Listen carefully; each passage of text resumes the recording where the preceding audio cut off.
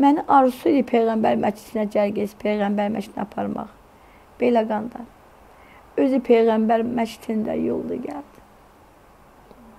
İkinci Qarabağ müharibəsinin ilk qadın qurbanı Arəstə Baxışovanın anası Məktubə xanım belə deyir. Onun qızı Arəstə oktyabrın 23-də cəbhə bölgəsindən yaralı hərbçiləri çıxararkən erməni qüvvələrinin gülləsinə tuş gəlib. Mən inanmazdım ki, mənim başıma belə iş gəlir. Düz Beyləqan xəstəxanasına gedib çatana qədər mən inanmırdım qızımın ölümünə. Qızımı görəndən sonra Ondan sonra taqətim, əlim, ayağım, qollarım qırıldı. Arəstə 4 yaşındaykən hərbçi atasını Çernobıl qəzasından törəyən şua xəstəliyinə qurban verib.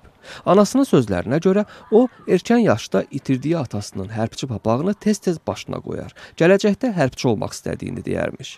Müharibənin başlaması ilə Arəstə bu arzusuna yaxınlaşdığını hiss edib və könüllü tibb bacısı kimi cəbhəyə yollanıb.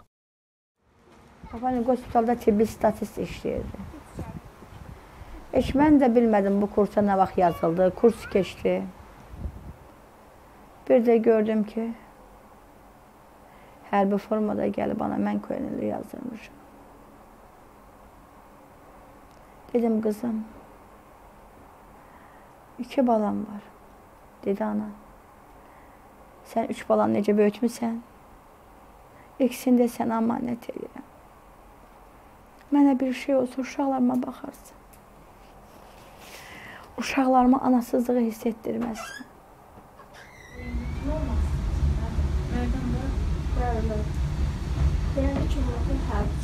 Arəstə xanım ölmədən öncə ən son oğlu Mərdanla telefonla danışıb. Ona tapşırıb ki, mənə bir şey olsa, nənənin sözündən çıxma, bacını qoru.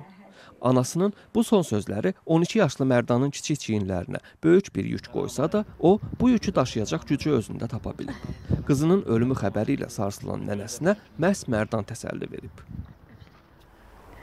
Mərdan sağ olsun. Mərdan mənə ürək dirək verdi. Allah bütün şəhidlər. Düzdür, ağlayırdı. Özünü toparlaya bilmirdi. Ancaq 12 yaşında uşaq.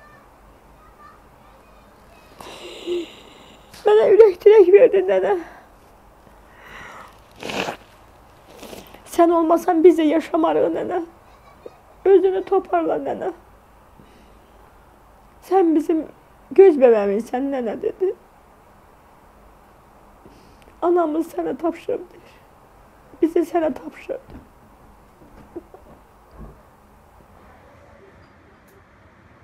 Qızının ona əmanət etdiyi iki uşağı layiqincə böyütməyə özünə borc bilən Məktubə xanım indi onların təhsildən geri qalmamasına çalışır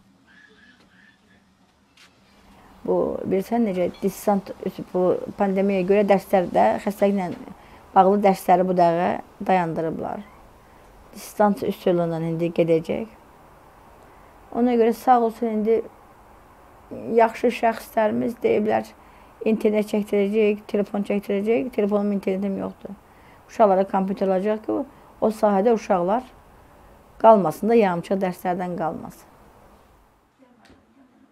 Məktubə xanım qızı ilə, Şahnaz və Mərdansa anaları ilə qürur duyduqlarını deyirlər.